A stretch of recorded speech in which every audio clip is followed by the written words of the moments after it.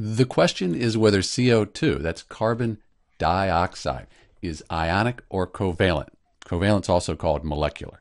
So as we look at the periodic table here, sorted by metals, metalloids, and nonmetals, we find carbon, and then we find oxygen. And carbon and oxygen, they're both nonmetals. So when we have two nonmetals, we have a covalent compound. So carbon dioxide, it's a covalent compound. But let's look at the Lewis structure to see what that means.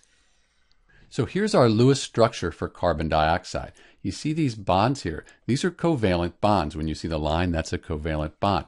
This is a double bond. So carbon is sharing electrons. The carbon and the oxygen, we have these electrons shared between these atoms. That forms the covalent bond, completes the octets on the carbon and the oxygen. So this is a stable molecule. You could also draw it like this here to show the double bonds and how they're shared. The electrons are shared between the carbon and the oxygen. One thing to note is that the difference in electronegativity between carbon and oxygen, that makes this a polar covalent bond.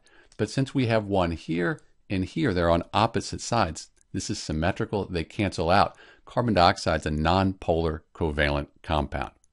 This is Dr. B answering the question whether carbon dioxide is ionic or covalent. It is covalent, also called molecular, and it's nonpolar covalent because these dipoles here, they cancel out. Thanks for watching.